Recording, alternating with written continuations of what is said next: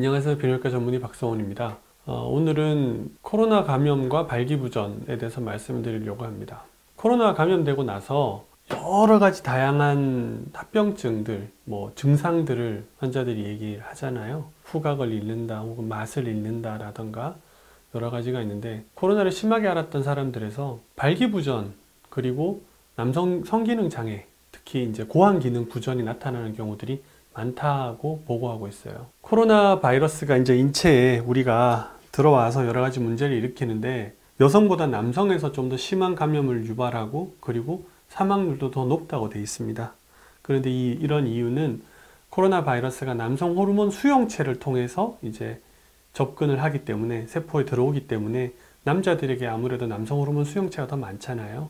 그래서 더 남성들이 심하게 겪는 게 아닌가라고 지금 생각을 하고 있고요. 코로나 때문에 중환자실에 갈 정도로 심한 감염을 앓았던 사람들을 남성들을 이제 쭉 이제 연구한 결과 그 사람들에서 발기부전이 나타나는 비율이 높았다라고 하고 있어요. 왜 그럼 이렇게 발기부전이 나타나는가를 이제 찾아보니 논문들에서는 얘기하는 게 세 가지 이유가 있다고 얘기합니다. 첫 번째는 혈관 내피 세포의 손상, 두 번째는 고환의 직접 손상, 세 번째는 심리적 부담감. 어, 혈관 내피세포 손상에 대해서 좀 말씀을 드리려고 해요. 그 코로나 바이러스가 혈관 내피 손상을 유발한다. 이게 어떤 의미가 있는가? 먼저 혈관 내피 손, 내피세포가 어떤 세포이냐를 우리가 좀 알 필요가 있는 것 같습니다. 혈관 내피세포는 동맥의 가장 안쪽에 자리 잡고 있는 세포예요. 그래서 혈관 내피세포를 이제 쉽게 설명하는 방법 중에 하나는 이건 것 같아요. 달리기를 하면은 건강해진다고 돼 있잖아요. 그 달리기를 심폐운동이라고 표현하잖아요. 이런 이유가 뭐냐 하면 달리기를 하면은 혈액의 순환이 빨라집니다. 그 혈액의 순환이 빨라지는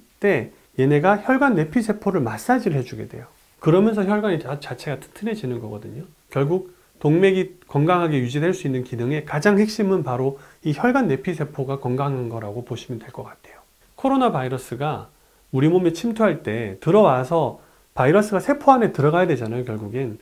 근데 그 세포 안에 들어갈 때 혈관 내피세포를 타겟으로 들어간다라고 보시면 돼요.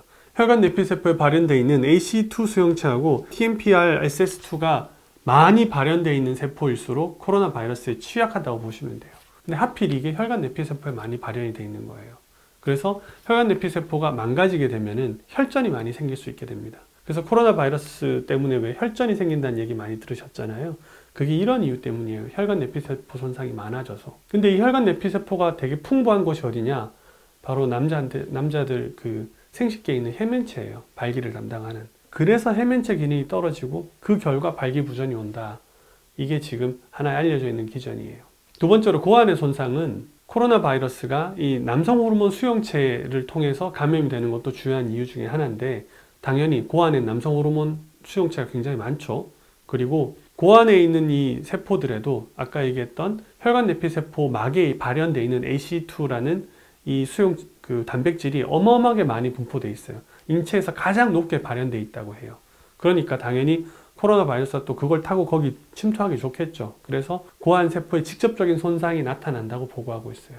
마지막으로는 이제 논문에서 얘기하는 거는 심리적인 이제 스트레스를 겪으면서 이제 성기능이 떨어졌다. 그래서 결론적으로는 이런 long COVID 신드롬에서 신드롬을 겪고 있는 사람들에서 발기부전이나 성기능 장애도 우리가 주의해서 봐야 된다까지가 논문의 내용이었어요. 코로나를 앓고 나서 발기력이 떨어질 수 있다. 코로나를 앓고 나서 남성 호르몬 레벨이 떨어질 수 있다. 이거를 남자들이 알고 있어야 될 것 같아요. 그래서 만약에 내가 그런 증상을 겪는다면 거기에 대한 치료가 좀 필요하지 않을까라고 생각하거든요. 뭐 치료는 우리가 발기부전 치료는 당연 널리 알려져 있는 것처럼 뭐 먹는 약이나 주사나 수술 그리고 지금에서는 체충격파라는 방법이 있습니다. 아직까지 연구된 바는 없지만은 제가 생각할 때 코로나로 인한 발기부전의 기전, 결국 혈관 내피세포의 손상으로 인해서 발기부전이 온 거기 때문에 여기에는 체충격파가 가장 잘 맞지 않을까 생각을 해요.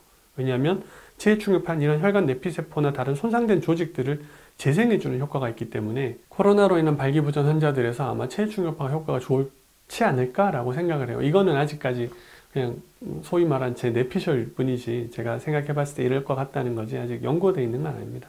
코로나가 사실 비뇨기과 쪽에 무슨 영향이 있을까 생각했는데 논문을 찾아보니까 꽤나 많이 발표됐더라고요. 처음 코로나 시작되던 중국에서부터 뭐 다른 여러 나라들까지 우리나라는 아직까지 그런 관련된 논문이 나오고 있지는 않은데 미국에서나 유럽에서는 이미 이런 남성 생식기 쪽에 있는 신드롬들을 많이 염려를 해요. 그래서 이번에 제가 본 논문의 제목이 어, 코로나랑 남성 성기는 그 빙산의 일각이었어요. 제목 자체가. 왜냐하면 아직까지 우리가 코로나를 다 경험한 게 아니기 때문에 아마 그렇게 빙산의 일각이라고 표현한 것 같아요. 여튼 문제가 더 심해지기 전에 이런 손상들은 조기 치료하는 게 좋을 것 같아요. 만약에 어, 코로나를 알았고 코로나 때문에 이후에 발길이 좀 떨어진다 혹은 뭐 성욕이 좀 감소한다 이런 일들이 있었다면 심리적인 영향일 수도 있겠지만은 어, 그게 아니라 실제로 혈관 내피세포에 손상이 있지 않나 한번 의심해 보실 필요가 있는 것 같습니다.